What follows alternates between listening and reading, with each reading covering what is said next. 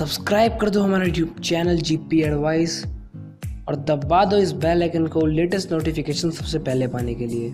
Hello और नमस्ते दोस्तों, आज सभी का हमारे आपके अपने यूट्यूब चैनल में बहुत स्वागत है। तो दोस्तों, कुछ न्यूज़ वेबसाइट पर, कुछ जगहों पर सुप्रीम कोर्ट पे जो पीआई फ़ाइल हुई है, उसके बारे में कुछ अलग सी खबरें बाहर आ रही है अभी कुछ देर से तो बहुत सारे बच्चे मेरे से पूछ रहे हैं कि, सर, ये सच है या नहीं है? तो गाइज़ देखो, इसका आंसर देने से पहले मैं आप सभी को आपकी पढ़ाई के अंदर हेल्प करने के लिए एक अच्छा ऐप दिखाना चाहूँगा। तो पहला वो ऐप देख लो।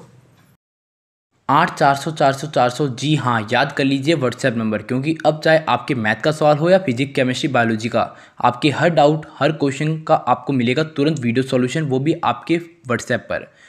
बस आपको आपके फ़ोन में डाउटनेट का आठ, चार सौ चार सौ व्हाट्सएप नंबर को सेव करना है और चैट ओपन करना है।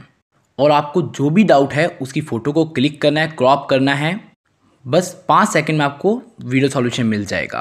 क्लास सिक्स से लेकर ट्वेल्थ तक IIT JEE mains NEET, CBSE board और सभी स्टेट बोर्ड के सॉल्यूशन आपको इस व्हाट्सएप नंबर पे मिलेंगे। तो देर किस बात की? अभी आठ, चार सौ चार सौ पर जाकर सारे डाउट आउट कीजिए। Link in description.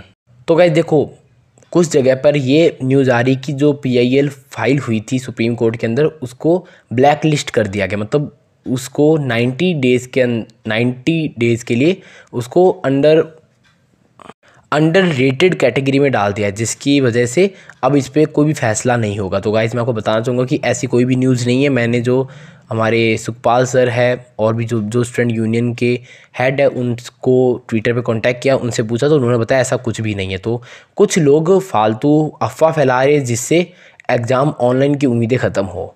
देखो गाइज़ आप लोग अफवाह में मत आओ। मैं देखो आपको हमेशा कोशिश यही करता हूँ कि हर एक न्यूज़ को सबसे पहले आप सभी को बताऊँ और आप सभी के साथ कॉन्टैक्ट नंबर भी मैंने अपने इसलिए शेयर किए जिससे आप सभी को जब भी कोई क्वेश्चन हो, आप मेरे को पूछो और मैं उसका जल्दी जल्दी आंसर दे सकूँ।